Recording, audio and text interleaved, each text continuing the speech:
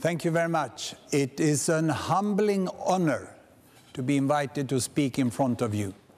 Uh, I'm a professor of global health, or rather, to be precise, a recently retired professor in global health. And, and I, I know that I'm not here because I know the content more than anyone else in the room, not at all. Uh, but I think I will introduce myself not as that famous data speaker, but as the most important representative in this room. I represent the patients. This photo is taken at the University Hospital in Stockholm.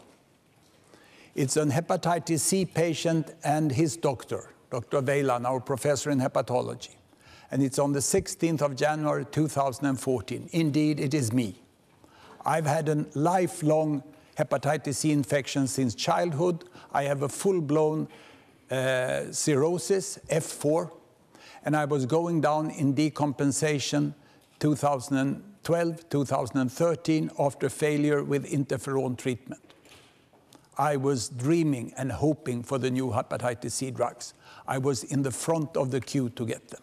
Uh, and 16th of January, the first prescription ever in Sweden was written at 8.30 in the morning, and I was the patient.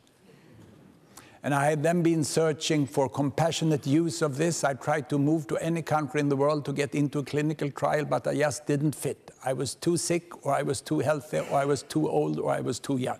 Eh? I just didn't fit in any clinical trial. And my problem was that I needed more than the Sovaldi. I'm a lucky man. I live in Sweden, where if you have a severe form of hepatitis C infection with a lot of complications, then indeed you get the drug free. Yeah? This is the $1,000 a day drug yeah? that I get the prescription. And I got six month free treatment. I thank the Swedish taxpayers. Yeah? But I needed the other drug also, Simeprevir.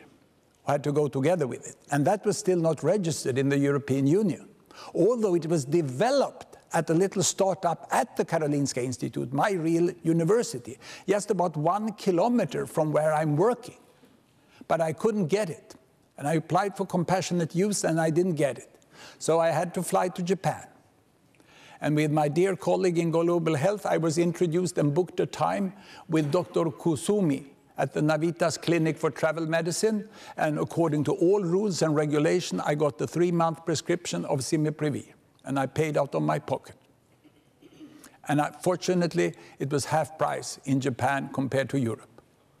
And of course, I did everything legally. You are allowed in Sweden to enter the country with three month prescription of a drug that has been prescribed to yourself after seeing a doctor. You cannot go abroad to buy it, yes. You have to see the doctor. And I was not allowed to have a, a six month drug. I had to fly back to get the last three months. So this is how dramatic it is. So having spent decades of my life trying to understand how drug innovation and drug supply should be organized in the world, I had to do the problem-based learning myself.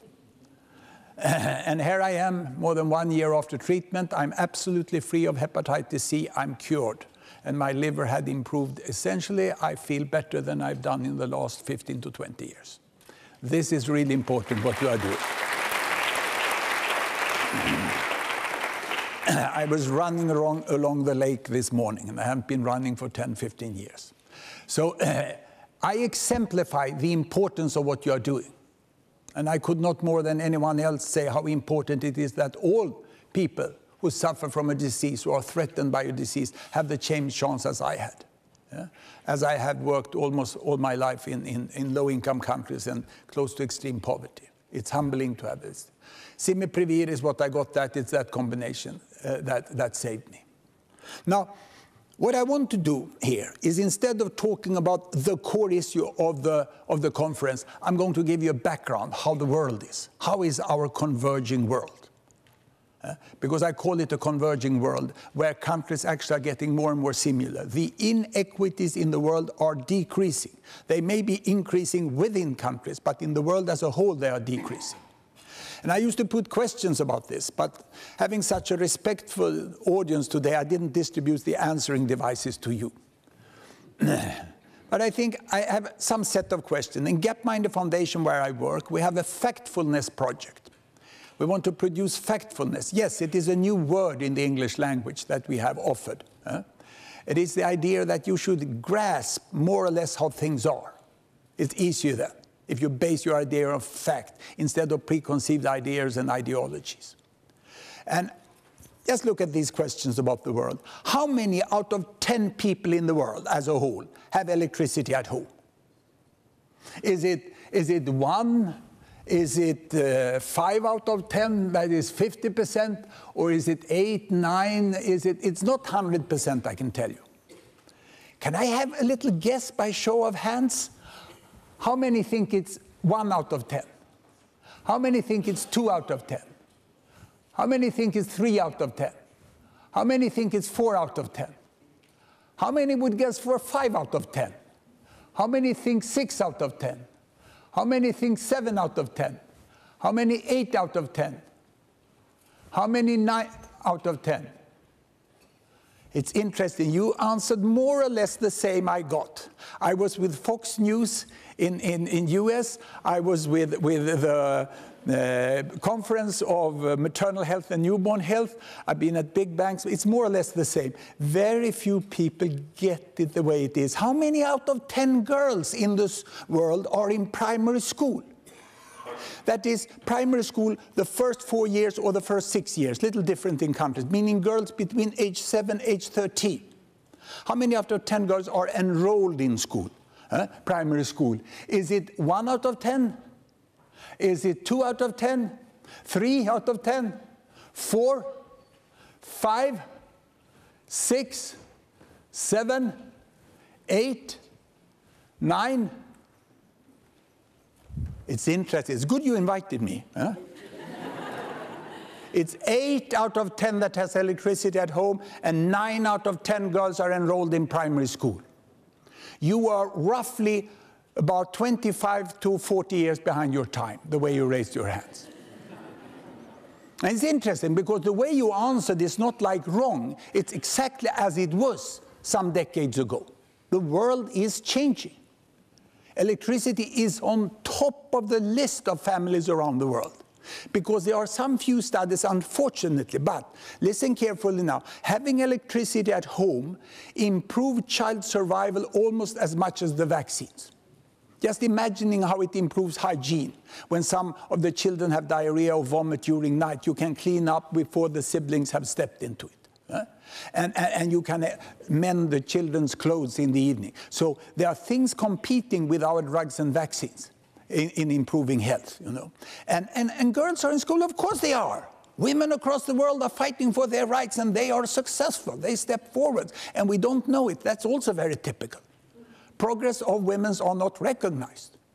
Then, does it mean that gender issues is solved? Not at all. It's even worse today because the gender inequity have moved from age 7 to age 13, age 14. And then young girls and young women are stopped in the most brutal ways in so many places. So, so this way of understanding how the world has changed is important. I used to ask how many children will there be in the world by the end of this century because UN Population Division has made a forecast on which almost all demographers agree. It's not sure, but more or less. The other three options here I have made up. Look, when I was born, there was less than 1 billion children in the world, children being 0 to 15. It increased like this to the turn of the century, 2 billion children. 2,000 million children in the world. Now, what happens in this world? I have asked Gapminder Foundation have made web-based surveys in Sweden. They answer like this. Norway answer like this.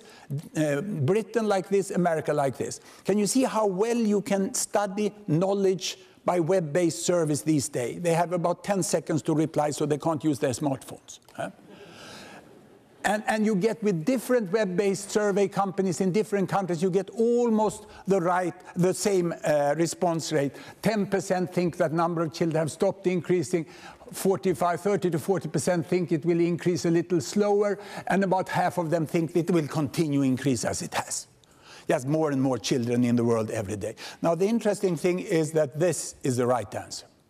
The number of children in the world have stopped increasing. It's the biggest event in the history of mankind that was ever completely missed by media.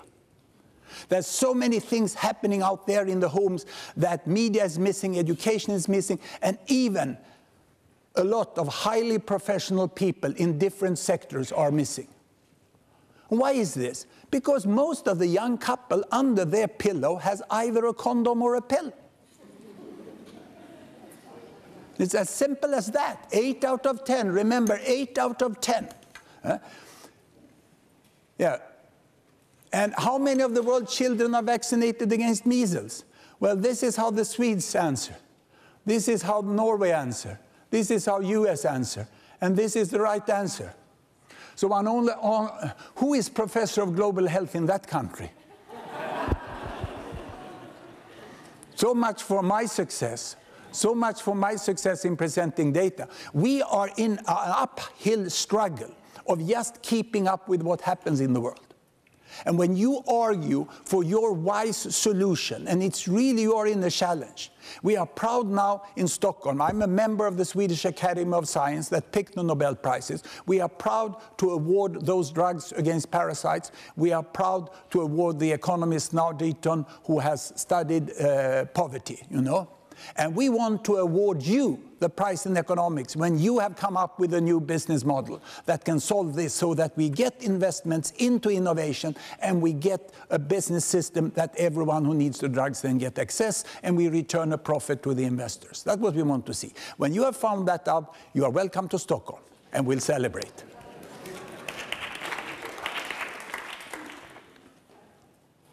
And life expectancy in the world, what is that? This is a nice question because I give the answer here. Japan has 83 years. And unfortunately, here, I think this was two years ago, uh, 48 years last estimate for, for Lesotho. Somewhere the worst of countries are somewhere between 45 and 50. What is it in the world as a whole? In the world as a whole, life expectancy is 71 years. And the interesting thing with that is that the life expectancy of the world population is closer to the best country than to the worst country. We have a skewed distribution of health in the world that is skewed towards the best. That's for health. For economy, it's the other way around. So we in public health, we can boast, ha ha, we did better than the economist. We skewed the world health towards the better. But those who deal with the wallet, they haven't been as successful. But then my friends who are professors in economics, they say, yeah, that's because you die, you know, but the real good capital, that keeps living forever, you know. So it's that limit we have for life expectancy. So no matter what, you know, eventually you will die. Huh? So let me start by showing you the income distribution of the world. Uh, we have done uh, the following uh, software here in Gapminder. And I will try to show it to you in this way. It didn't change so rapidly because it was mostly the rich who benefited from it. Even in Britain, the children were still down the coal mine. Huh? And then it started in the next century, it dragged away, and we got this peculiar income distribution, which was at its peak in 1970. We had the poor and we had the rich. It was two humps. I call it the camel world with two humps. And the rich were somewhere between 10 to 20 dollars a day in purchasing power here, and the poor was below the poverty line. This was the world I met when I was a student and I studied in Sweden, I studied in India, and we saw the world, the income distribution of the world. After that, when it started to converge, we called it globalization. But this is the exception. Historically, this is the exception. It was a short blink of time in the history of humans. Some few generations when some countries and regions had a distinctly different economic level from the rest of the world. That's not how it used to be. It was a few, few generations. And look what has happened here. Look what has happened when they get more people in Asia and Africa there, and now China start the drive forwards, the Asian tigers follow, the African lions follows, and there we are today. No more camel. The camel is dead. It's a dromedary world with just one big hump.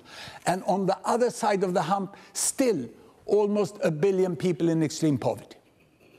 And the sunny side, the best of, where people get their hepatitis C drugs as soon as they get on the market, and they get them subsidized if you are a lucky Swede. This and, and most people live here in the middle. How do we handle, how do we conceptualize this world? That's what I'm going to, to talk about here. And I go backwards there just to show you how this was distributed between the continent. As you see on the map up there, red is Asia, yellow Europe, blue Africa, green America. This was Asia, this was uh, Africa, this was Americas, this was Europe. West Europe, North America on that way, Japan and Australia. Gapminder Foundation is an independent organization. We stay away from, from business, we stay away from government, so we can decide which country belongs to which region.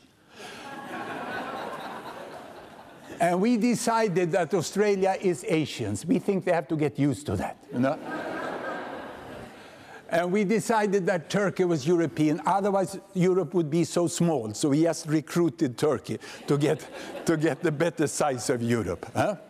Uh, I apologize if someone is offended by, by, by this way of looking at things. Now, the interesting thing, if I mark China here and I mark the United States, can you see that back then, I can make the other ones a little, is less intense. Back then, there was almost no overlap in the 1970s. The best off in China and the worst off black people in rural Mississippi uh, were more or less on the same level. And look what has happened. In the first 20 years, from 1970 here to 1990, not so much happens. Because when China starts to grow with these fascinating numbers, 10% a year, but they grow from a low level, you don't make much difference. That's what Africa has experienced today. Very nice percentages, but percentages adding to a very low income, it doesn't bring you fast forward. You have to keep that percentages for decades and decades and decades. And, and, and here still a very modest overlap. But look now what happens when China moves on. China moves on here. And Asia follows. India is following here. Huh? And, and, and, and today, Ooh. You can now see that the, most Chinese are better than the worst off in United States. The majority of the Chinese population is better there. The sort of average here, you know, somewhere here, there are still few Chinese there, but give them another two decades, another three decades, and you have a completely new world. That talk about slowing down in China is an illusion. The, you can watch the, the growth of China going down now from this 8 9% going down to 5 6%. That's a sign of success. Because I'll rather have 6% growth of $10 a day than have 9% growth of $4,000. And these countries over here just have a modest 2 or 3%. I mean, we celebrate in Europe if some country have 2% growth. So the whole concept, we have really, division is a very difficult way of counting, arithmetic, I found out. So you, you have to understand what this is. So what we saw was a converging world. Let me show you what I consider the biggest change in our time. The biggest change on our, our time is here, babies born per woman. Back in history, it was six babies born per woman. That's the normal for humans. Breastfeeding, the way it was sort of by nature intended for humans, is two to three years. And you get between the conceptions, you get about three years. You get children three to four years interval, on average six per woman. Some women didn't get any children, others got many more for different reasons. But average was six. You go to the rainforest today, you see six uh, five to six children per woman. And then it didn't change much from 1800, 1900. I was a college student here, 1965, there's still five children per woman in the world. And why do I take this? Yes, because decreasing the number of children per woman means confidence that children will survive. The new idea, I'm not proud of how many children I have as a father, I'm proud of how well my children are doing. And that means for parents for communities, for countries, for the world, investing a lot in each child and helping them to go forward. And of course, having that condom and that pill below the pillow, you know, to make it happen. So, what has happened in the world since 1965? And these data are very good data. This is what happened. We are down to 2.5. And that's what made the number of children stop increasing, which has not been uh, communicated. And we know that this will happen. We don't know really how fast, and we don't know at which level we will end off. Will we have two children per woman? Will the world be like Sweden or like Germany? Sweden, two children per woman, Germany, 1.5. Uh, and here, if I divided it in region, Europe, like everything that happens in Europe, didn't happen fast, it just started early. Nothing in Europe's progress was fast. It was slow, but started early. America started later. They had a baby boom, and then they came down at two. Europe is below the replacement level. With present, present birth rate in Europe, Europe need to double the immigrants and refugees that come in order to keep the population. That's why I added Turkey. Without Turkey, Europe doesn't have a chance to keep up. I, am at a distance. I'm not politician. I'm not head of an organization. I'm not a civil servant. I just stand beside and observe.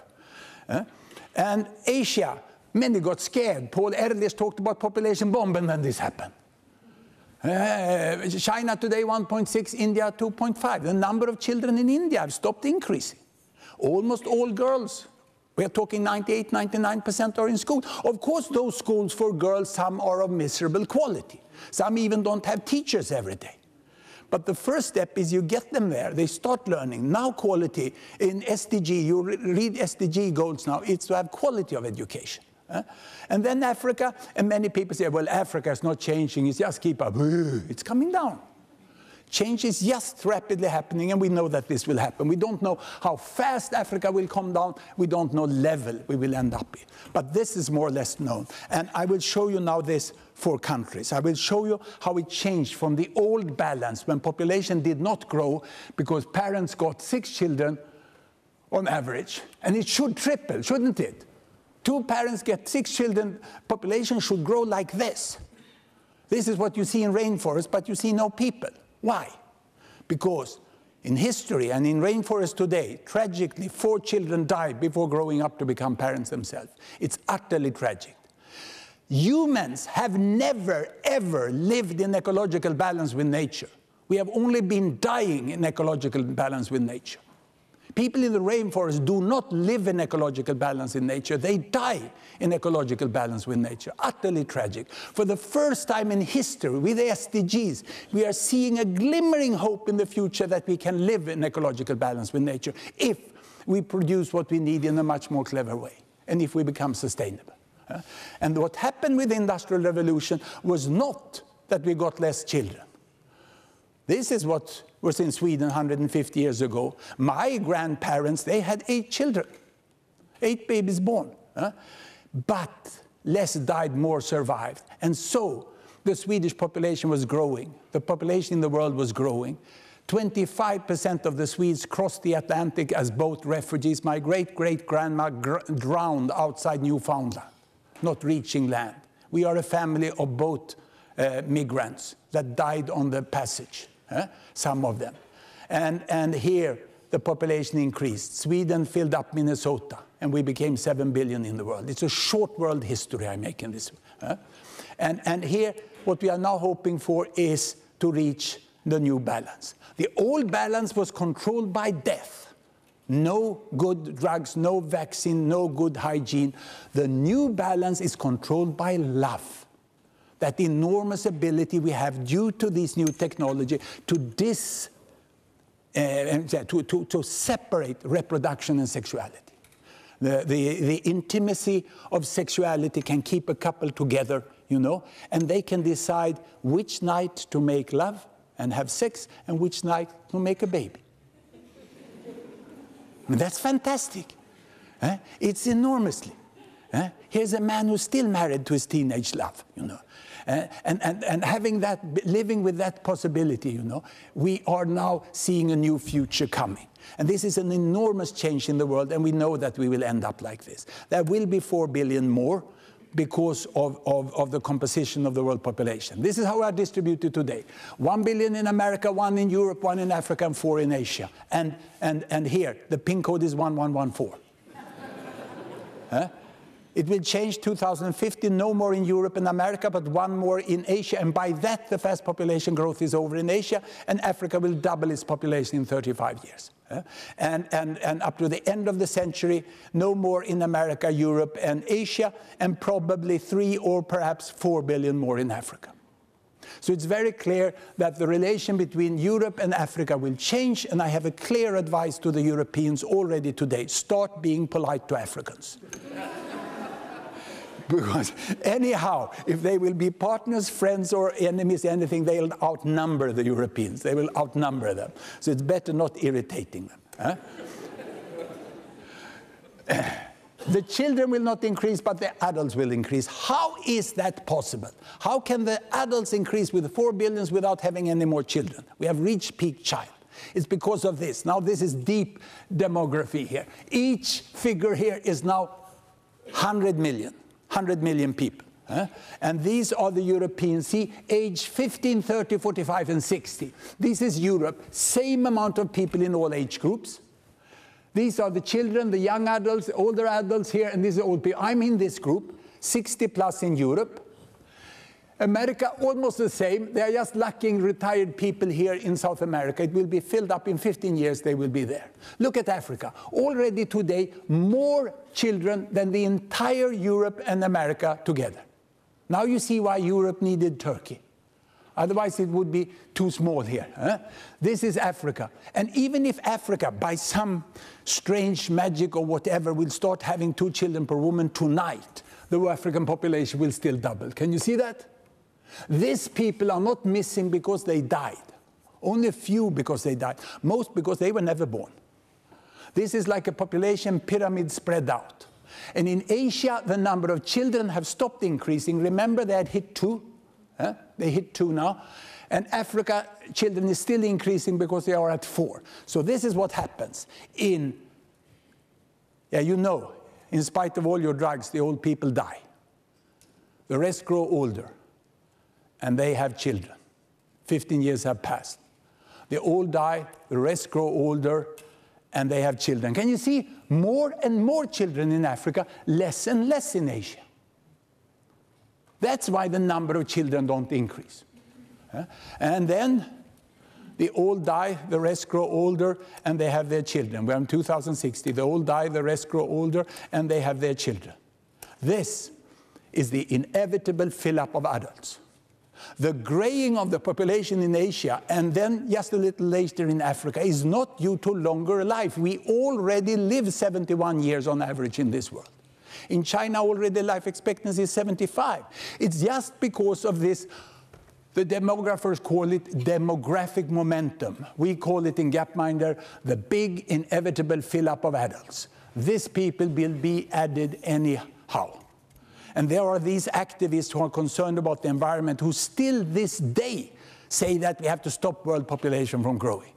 There's no way we can stop this if we are not going to start to kill.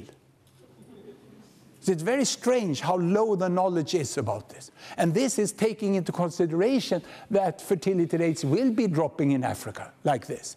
It may happen faster, but it may also be that Asian women start getting more children. It's now absolutely clear that it's lack of gender equity that makes educated Asian women marry late, if ever, and have few children. It's not China one child policy, it's not it. China has China has like 1.6 children per woman with that government policy, whereas Taiwan, that part of China, leave the politics out, uh, that part, they have one child per woman without any government saying anything to them.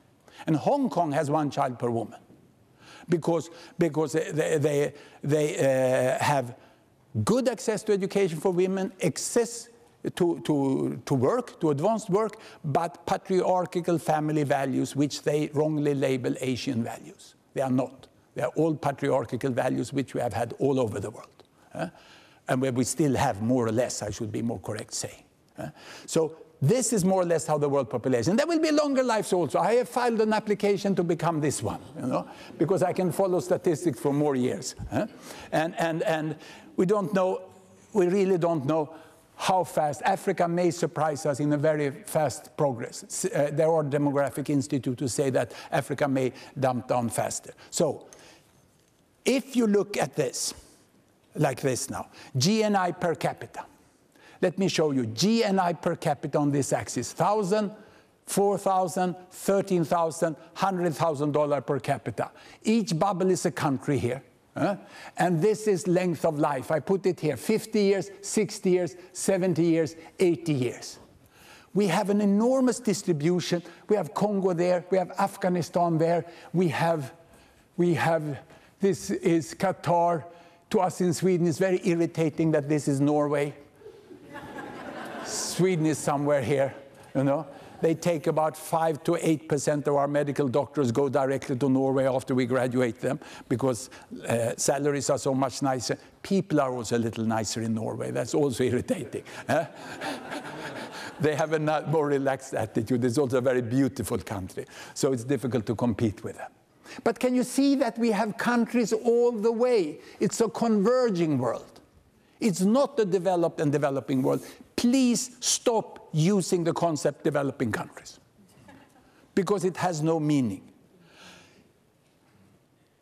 If I cut this line here at $13,000, or to be precise, 12,700 GNI per capita exchange rate, these are the high income countries. It's 1 billion people living in the high income countries here on this side. If I draw another line at $1,000, I get the low income countries here, 1 billion. There are still professionals who use low income countries as a synonym for developing countries, exposing enormous ignorance about the economy. Most people in the world live in between here, 5 billion people. And that group is too big to be handled as one unit talking about middle income countries is, is too big. Let's draw a line in the middle between upper and lower. That was not planned, no. Upper middle income, lower middle income. Can you see? Two and a half billion with China, two and a half billion with India. And can you see here how health, life expectancy improve with money? That's why I love money. As a professor of public health at the Nobel Prize awarding institution, I love money because we know how to use it. Uh, and if you have all the knowledge what you want to do and you don't have the money, you get very little.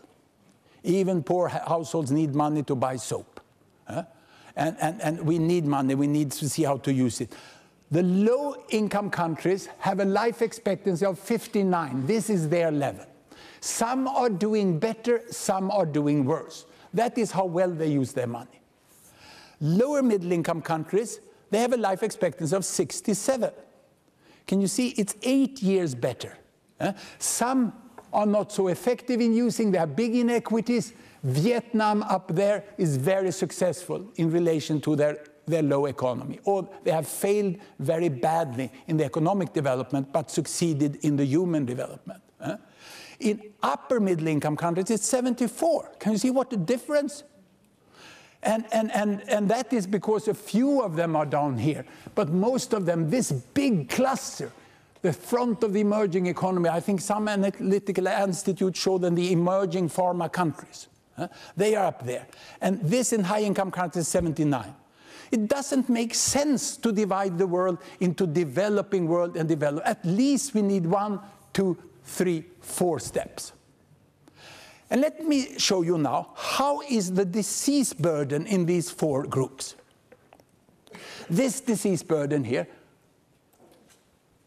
the total square here shows the burden of disease in DALYs, that is early deaths and disabilities. The blue one is non-communicable diseases. The red one here is a small one, it's infections. This is injuries self-harm, suicide, and, and, and, and, traffic accidents mainly. Can you see how this is really dominated by non-communicable diseases, as you know? Huh? And they have nice amount of money, and they have money, and most of the innovation produce the drugs which are needed here. And when it's good companies and good research, they really make breakthroughs, as we have seen. And they are charged a lot of money for them. Huh? That's this one. Let's move to the next group. Here also, non-communicable diseases are dominating. Infections are relatively small also in this area. Whereas if I go there, now non-communicable diseases is almost as big as infections, but they still have infections here. And if, I'm, if I move down there, you see infections is absolutely dominating. Now the challenge here, the challenge here I want to show is perhaps more dramatic is here. Look at Vietnam. I will compare Vietnam to the United States. That we have done, you know, there have been historical and tragic, tragic military conflicts between these countries. But if we just, if we just take a look at, at this, same here, income on this axis, life expectancy there, and I mark the United States there. We run the United States forward, and I have to find Vietnam on this axis. This software is free of charge on the net for you to play around with. Huh? And Vietnam 1965 was there before the war, and then it ended up like this. And you can see Vietnam on their income level, world champion in this mid midweight of economy. Vietnam today have the same health situation as United States had 1980. They have non-communicable diseases, they have cancer, they have hypertension, they have traffic accidents, they have mental health issues. Uh, they are just about 25, 30 years behind US in health situation. Whereas in economy, they are back at Lincoln time. They are 80-80 in money. So if you are a minister of health, and you have taken your country out of malnutrition, out of infections, with good policy, education to the people, you get punished by getting a non-communicable disease burden at a very low income level where you can't deal with it, whereas you have the professionals who can deal with it. That's an enormous demanding situation for you to fix the access to drugs to that.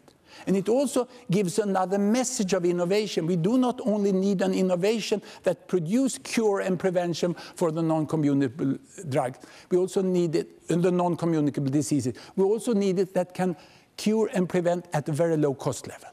I think the intraocular lens is one of the best examples uh, for cataract surgery. That was a fantastic innovation. And the best of all was when Indian polymer chemists could bring down the cost from $200 to 80 cents. We need market economy innovation both in finding the new technology and bringing down the cost. Please, please fix that the cochlear implant and hearing devices can be brought down in cost with taking away two zeros. They need to be taken down because we now have countries who have this non-communicable disease burden at, at, at such a uh, at such a low income level. And we have countries all the way through. So your work ain't easy. That's why I offer you a Nobel Prize if you succeed. Because you really have to come up with the business plans and, and, stimulation to innovation, which is as smart as the best biomedical in innovation. This is the drug cost. Here, people have $500 per person for drugs, $100 per person, $40, $10. You see the dramatic differences. Dramatic difference. And how can these people deal with the non-communicable diseases? I, I skip that one. No, it's just child mortality. If I do child mortality, same here, here, here, here, falling stepwise. Please use the four group. The Global uh, Health Observatory at WHO, very wisely now, um, Ties Boerma's group, they put these four income groups, and you can see the indicators in the four income groups. The poor people in the world has to be found with access also. Those, for, those people who don't have electricity, who don't have kids in school, who are not vaccinated against measles, who don't find contraceptives, they live in low-income countries, remote rural areas, and in the corner of the districts. If this is a hospital and the health centers, the poor people live in those corners. That means that this Sustainable Development Goal 1.1 is very challenging because to reach the last 10% in extreme poverty is really difficult. The last leap, you know, the last bit in marathon is the most difficult. It really takes a focused effort. And that's another challenge, just to get the good that we have out to everyone. I think I jumped that one. And I would like to stop with this one, showing you how the division have been done in developing and developed countries. MDG was reported only for developing countries. And there was a list for those countries who were considered developing or in developing regions, and they should report. And the others didn't have to report. Other people had said that MDG was the low hanging fruit, whereas SDG is the high hanging fruit, including the low hanging fruit in the remote areas that was never reached. So, how did our system, our UN system, which I honor and like so much, I was brought up respecting the UN flag more than the Swedish flag. Yeah, I went to secondary school to Dag Hammarskjöld, the Secretary General, and as a young teenager, I was present at his funeral when he died in service. That had a great impact on us. So one of the reasons why Swedes stand up for UN is that that, that uh, feeling. Respect highly people who work for United Nations different organs, you know, and contribute. Now, but how do we do it internally? This is how it was divided. Uh, no, let me first show you. Here I have money again. $1,000, $10,000, $100,000 on a log scale, of course. Compressed the money there, expanded the money here. Here's child mortality on a log scale. Two children dead, 20 children dead, 200 dead. See, once more, why I love money. The main determinant of falling child mortality is money. But you can do distinctly different at one income level. If you have a good health system, you are down here, otherwise, you are up there. That is what we want with policy. But policy can only do so much. This bottom, no one lives here. There is no paradise. You can't have a paradise with low GDP per capita. Don't even think about it. And you can't have so stupid policies you end up here. If you are rich, you know, most kids survive. There's no way you can be so ugly in your, in your policies you end up there. Now, how do we divide it? These are the developing, these are the developed. Where is the cutoff? And this is the official cutoff in the MDG. It came down like this. It would cut here, we thought. But then Qatar is over here. And Qatar have palm trees, so they became developing. And then it goes down here. This is Kuwait. This is South Korea. They are developing. And strangely enough, Singapore, one of the most advanced countries in the world, is a developing country that have to report. And, and then coming up here, you can see that this is Ukraine and this is Sri Lanka. And Sri Lanka, of course, is a developing country, but Ukraine is developed. Have you ever seen a cut-off line that goes like this? Do we have anyone who can write the algorithm for this line? This is the intellectual quality of our categorization of the world. It's a result of a political process, and I respect it. I don't criticize outside UN meetings. Inside, I'm harsh. Inside, I'm harsh because I love UN. We can't work with this. You can't have a policy for those countries which are on that side of the line and another policy for the others. Leave it. Stop using it. Uh, follow. And the, the, the, the big pharma is more analytic. They segmentize the world. But they don't segmentize it perfectly. I know Gilead will be here in the afternoon. I learned a little from Gilead how they say we can't have different policies in multi-tier pricing in Latin America because it's the same language and it will be export. You have to consider other things also. You can't only have a cutoff. You have to be a little more clever. But this, we can't move forward. We must have a fact-based worldview. Thank you very much.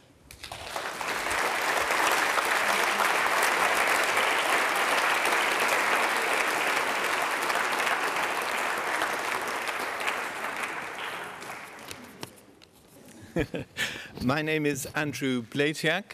I'm from the Polish Academy of Science. Uh, I'm a great admirer of your work, and you cheer me up. Every time I listen to you, I think the world is a better place. What, what does depress me still are drugs and narcotics and the way drugs are used in a criminal way. I would welcome your thoughts or any considerations that you may have on, on this and the influence on the graphs you demonstrated? Uh, I am not an analyst in specific areas, so I try to avoid becoming guru. You know, what I really want to do is like the basic roadmap of, of the modern world to provide it. But what we can see be, behind the, the, the drug trade is that some rich countries provide a market. And if a rich Europe provide a market for, for heroin, eh, or, or United States provide a market for, for narcotics from America, there's no way the other countries can stop it. The market is very strong. We see it with, with, with the unfortunate refugees from the Middle East.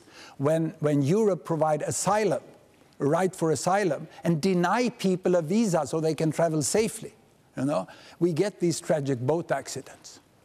It's difficult to have a global policy that works when we still have such a lot of inequity between countries. And what I say with the progress I see in the world, and let me say I didn't have time to really show the progress in Africa. What you see in many African countries now is that the upper quintile, the top of the countries, are progressing very successfully, while they may still have rural areas in deep problems or neighboring countries in civil war. Uh, when you see that happening, it's really, it's really that West Europe and North America will be such a small part of the, of the future world. It will be less than 10%. It's marginal the world will be Asia and Africa. That will be more than 80% of the world population. The center of trade will be the Indian Ocean. The central world will not be London. It will be Dubai. And, and, and how would, how would, I put it like this, how would West Europe and America integrate into the modern world to find its place?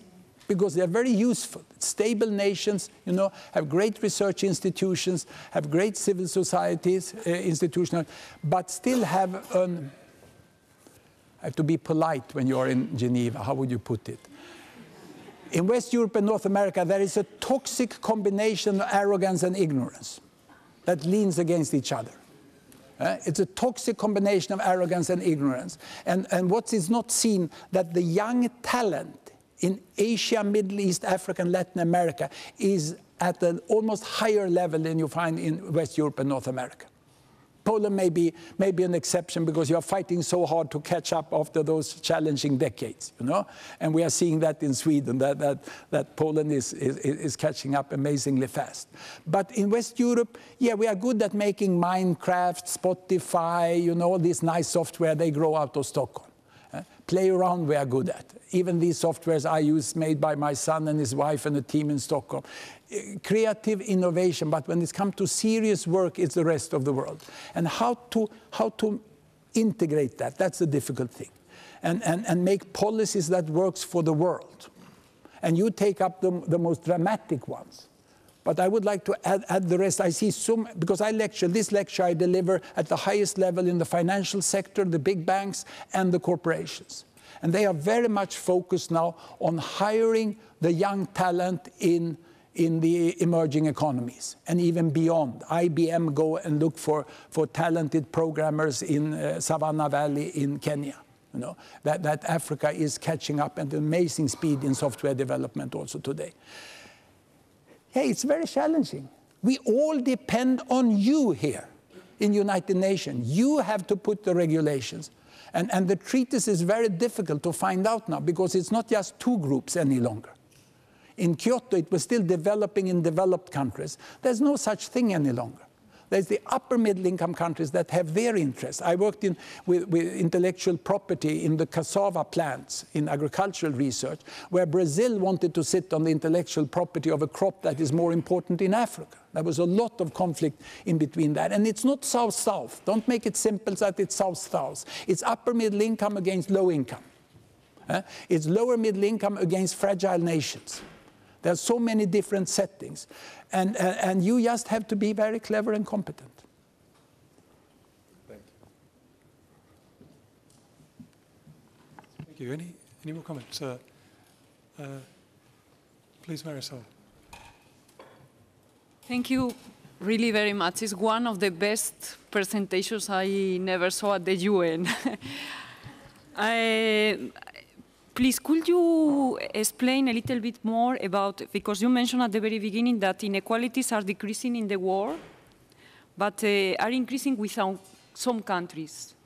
And we see, for example, in Europe, countries that are uh, going through crisis and how these uh, differences between population and, for example, in France the other day I listened, there are 8 million people in, in the poverty level for, for a population. so how this can affect for example, in the case of access to medicines, for those countries which uh, population basically are uh, suffering from NCDs? Thank you. Yes, you use the term poverty. And remember that poverty used in nations who are better off, the high income, is relative poverty. It's 60% of the median level. Do you know which country in Europe that reduced poverty most in the last three to four years? It was Greece because Greece decreased the median income so much that the poverty line, you know, fell below the poor people. It's very, it's, very, it's very complicated, these terms, because they are very loaded politically and policy-wise. Uh, that's why we want to visualize the income distribution this. With this tool, you are going to see each country where, where how they are distributed. And, and and of course, access to drugs, if they are going to be out of pocket, is very much dependent on, on your income. And the most tragic thing with drug access out of the po pocket is that it's almost the main cause of pushing people back into extreme poverty. That's why we need protection, you know. Because when you have your, your, your mother have a stroke, you know, your father uh, need a drug for this treatment, people will sacrifice. And you see these lower middle income countries where there is now uh, successful access to, to good medical technologies and still severe diseases. I, I, I was co-supervisor for a study on suicide and suicide attempts in Vietnam. It's very tragic how young women who now wanted a modern life and they were stopped at the age 15, at the age 17, you know, and in panic and sadness, they tried to commit suicide but they survived and they were brought to intensive care with very advanced treatment and the family had to pay. So it ended up by the family falling down into deep poverty. It's a very dramatic situation you see in countries. And never before have we had people at such a low income level understanding and having physical access to the payment. The big problem in the world is this people are much more capable than their incomes. In West Europe and North America, you find a lot of people who are less capable than their incomes. They get more paid than they are capable of, or compared on. Don't smile from Africa now. Hide that nice smile. you have to become some more billions because before you can smile like yeah. Because you all know it. You know, we know when, when, when we collaborate. My colleague who is with me here, uh, Helena Nordenstedt, uh, who is also assistant professor at Karolinska Institute, working with me with Ebola. She told me, you know, the payment level of the so-called volunteers who came from Europe was above the qualified physicians in the West African countries. And the access to treatment was excellent. How many were there? 23. 23 so-called volunteers from West Europe, North America was infected with Ebola. They were flown out, no one died. Whereas our colleagues in Liberia, Sierra Leone, and Guinea, more than half of them died because they don't have that right. So, so um, that, that is really tough. So we are dealing with a world where people live on very many different levels. And indeed, in a certain way, I can't accept that countries in sub-Saharan Africa should focus on, on equity so much. They should focus at the level of the poorest people. If their elite are software developers on international levels, if they have surgeons, you know, who are full capability, they must have a salary level which is somewhere close to international uh, alternatives. Otherwise, they won't work. They can go out of their position by lifting all groups at the same time with the, with the remaining disparity. What is bad if they have leaders who only focus on the rich one and leave the rest.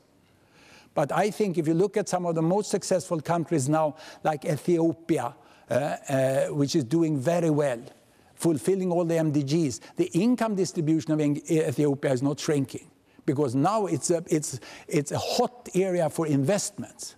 Every bank I lecture till, they want to hear about these successful countries in Africa. They want to pour money into Africa now, which will make it possible for the elite, the young talent in Africa, to get better salary and move forwards.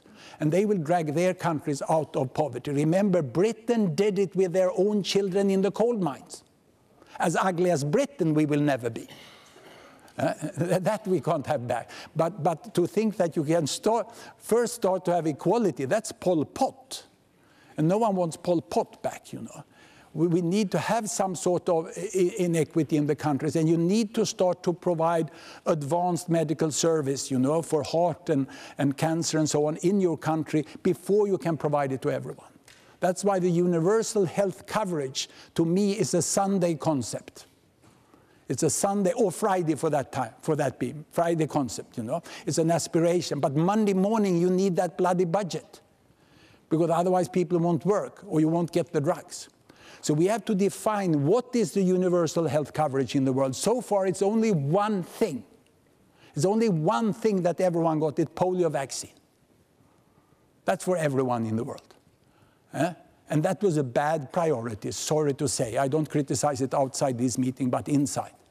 You go to northern Nigeria to a woman in a remote village and, and you offer polio vaccine, and she looks at her priority list and she finds it on place 42. And she says, I want diarrheal treatment, I want vaccines, you know. My sister died in childbirth, my husband has a broken leg. Uh, we have all these. It had to be not polio plus, it had to be basic health service plus polio.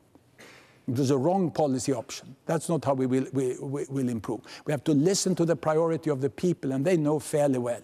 I've been working 20 years with African institutions in remote parts of Africa. It took me 10 years to realize that I should listen and not talk. And pe people are so aware, they're so aware of their economy. They know lean economics, how to, how to make priorities and what is most important. And that you have to deal with at the same time. At the same time, you need to run clinical trials uh, in countries. You need to have an expertise. You need to have international competitive researchers in low-income countries. At the same time, you have their villages at that low level. And I, I think it's very important not just to, to say that, that, that uh, yeah, we want equity, we want these nice things immediately. It won't come. I asked uh, Nkosazana Dlamini Zuma that invited me to the African Union. And I asked her, what is the difference being a leader in South Africa and being it in Addis for the whole of Africa? Well, back in Pretoria, we had money. Here we don't have the money, she says. We have very meager resources and we depend on others. So it's good we have the Europeans and the Chinese and the Indians and the Brazilians, so we are a little more independent these days because we have money coming from different sides. So it's extremely difficult to do this.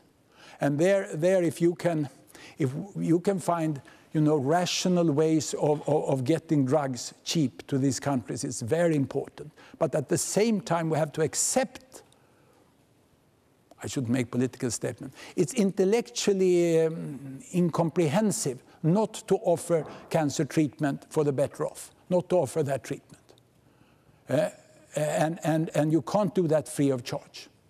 There's no way and you must have pride because the worst thing is take a middle-sized African country. If they don't offer cancer treatment, people will fly out to Joburg, they fly to Dubai, they fly to London, and you lose that money. It's better you have that private hospital in your country, and you have that capable people in your country for the economy.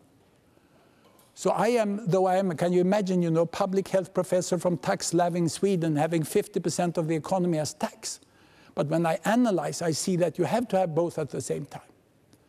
And can we have so that we have one cheap basic forms of, for instance, insulin that is available for everyone who get diabetes, and then those most advanced injection things, which are very nice now with automatic testing, that's for payment, out-of-pocket payment.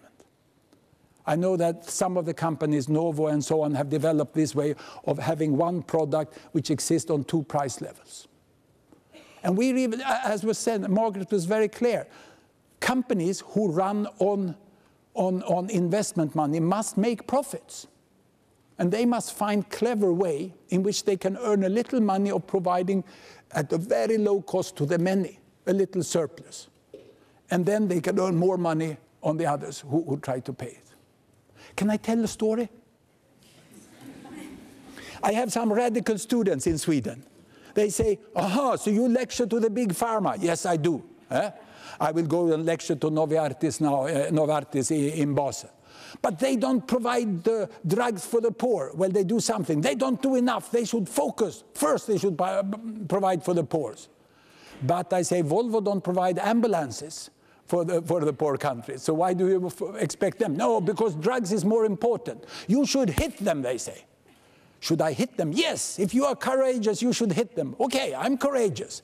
Just tell me who should I hit? I will come in there to their, to their, their, their plant. Should I go on hitting the, the employees? No, no, no, don't the employees. Hit the CEO. Well, this was the time of Daniel Vasella. He's a little older than me, and so, yeah, I may hit him. I can hit him. Will things get better if I hit Daniel Vasella? Yeah, yeah, the radical said. And someone was more clever, said, no, no, no, no, no, they'll just change him. Hit the board, they say. In fact, I'm going to lecture to the board in the afternoon. I can't make all of them. The security will probably catch me after I've hit a number of them, you know. but it will make a good video, I say. Huh? Should I hit the board? And then some clever guy in the back row said, no, you should hit the shareholders. Because the shareholder elects the board. Yeah, now you are talking, I said. And who are the shareholders in the big pharma? It's the pension funds in the rich countries. You all go home and hit grandma and hit her really hard. Because the money that grandma save on her pension and give to you so you can travel in the summer, that is the profit of the drugs from come from that. You see, this is the complexity. We need a system that works. We need regulations that works. We don't need this old ideology. And for that sake, the radical left I had among my students, I find equal stupidity on the radical right that says, oh, we make a patent, you should honor the patent. Don't start with generic drug, continue to honor the patent forever. That's stupid. After 20 years, honor a patent. Those who did that research are already dead or retired. You should honor fast in some way. You should have funds for those who do things, you know. In, in business, you know, money that comes after 20 years doesn't send the right signal. It doesn't send the right signal. So what we need is a clever system that can oh, and the world is as unequal and it is you can't change the world you can just operate in the world as it is Thank you, Hans. Uh, I think I stop otherwise I will lecture all day. Thank you very much.